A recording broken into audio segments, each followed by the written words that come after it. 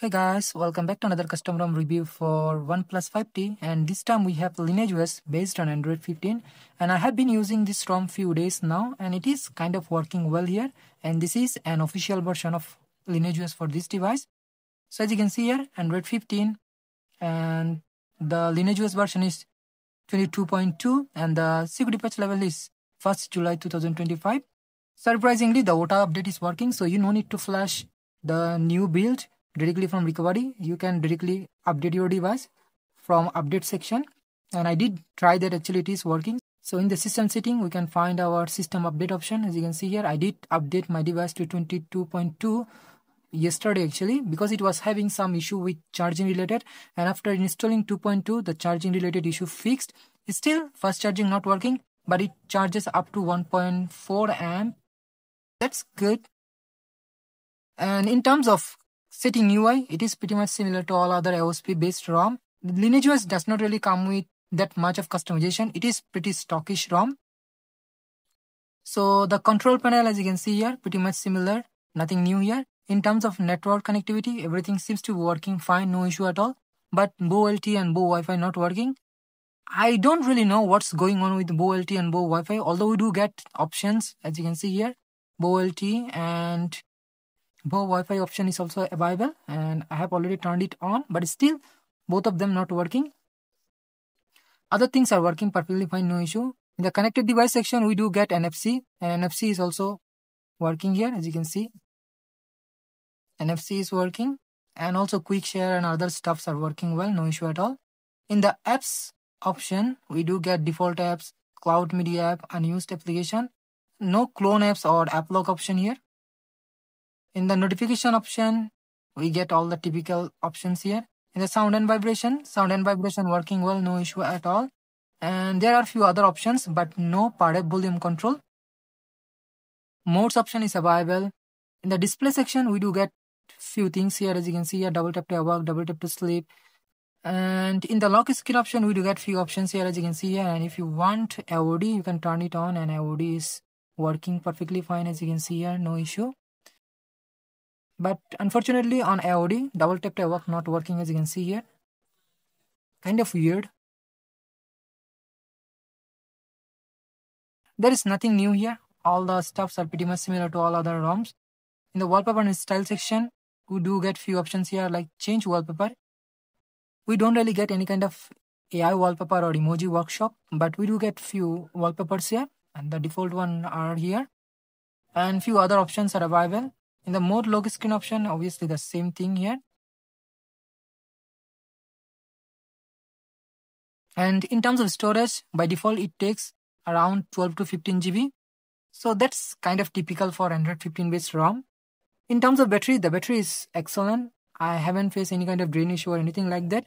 But there is charging issue, like fast charging is not working. And I have found a weird issue with this ROM is that sometimes the charger get disconnect and reconnect. So kind of weird. When I charge the device, when it's turned off, it charges fine, no issue at all. In the system setting, we do get few options here like for customization and stuffs. So in the button section, we get typical options here as you can see.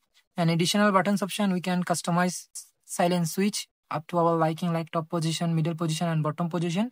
So those things are available. And in the status bar option, we get few customization option on this ROM like quick pull down, network traffic monitor, system icons, and also clock position. You can change it. And these are the things we are getting nothing much actually. The only customization we are getting here are this, nothing much. In terms of security and privacy, both face and fingerprint unlock are uh, viable and working well. So if I show you, as you can see here, face unlock is also working and we do get private space and in the mode security and privacy option we get few other options like extended unlock theft protection sim lock and all those things. And that's all actually. Location is working and we don't really get much here. In terms of application this rom did not come with gf so you have to flash gf separately. And by default we are getting gcam go which is working fine. As you can see here it is working no issue at all. But I didn't install a gcam here, as you can see here.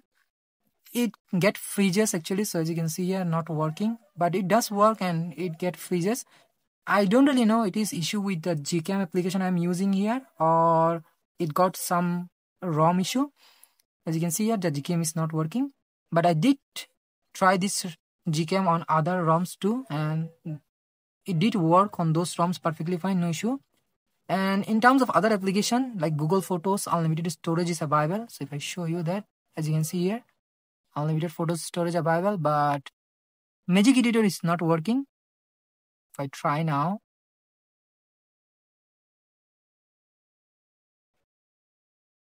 Circle. And as you can see here it closed.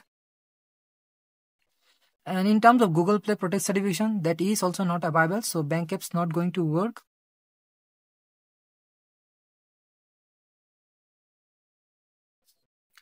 and in terms of google play protect certification that is also not available.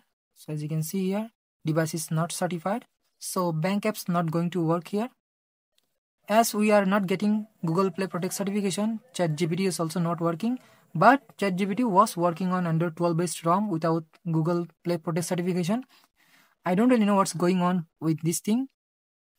And whatsapp is working but when you try to log in you can see this alert but it does work perfectly fine no issue at all and in terms of calling, as I said, VoLTE and VoWiFi not working here.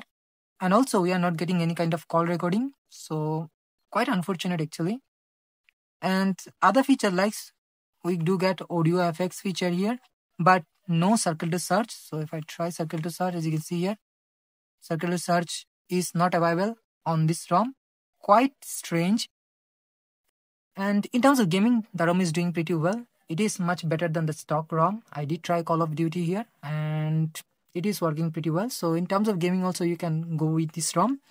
And other things like the UI is as I said pretty clean and smooth. The animations are pretty good and also the RAM management is pretty good here.